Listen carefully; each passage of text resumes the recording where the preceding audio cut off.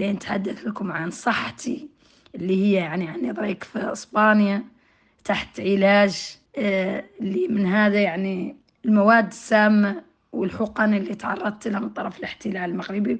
وهذا التورم اللي مرق في جلدي وهذه العين يعني أنا اللي هي عين وحيدة نشوف منها واحدة فقعها الاحتلال المغربي واللي كان خاصني تم تحت رعاية طبية واللي كنت في هذا السجن. في هذه الإقامة الجبرية في هذا التعذيب في هاي الانتهاكات الجسيمة لحقوق الإنسان اللي مارسوا علينا جميع الوسائل آه، الانتهاكات آه، الجسيمة واللي هي من ضمنها الحقن السامة التعذيب على جميع الأشكال آه، تسميم خزان الماء. هي مرحلة طويلة من الانتهاكات مرحلة طويلة من تعذيب ومن التنكيل ومن الاغتصاب ومن كل يعني أشكال التعذيب مع علينا الاحتلال المغربي في مدينة بوجدون المحتلة.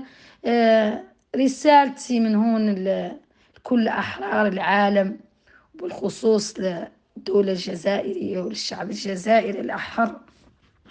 نقول له عنه إن شاء الله آه، السلطانة مستمرة بالدفاع عن الوطن سواء تحت علاج سواء في صحة إن شاء الله جيدة لأنتم إن شاء الله مواصلين معركتنا حتى نيل الحرية والاستقلال.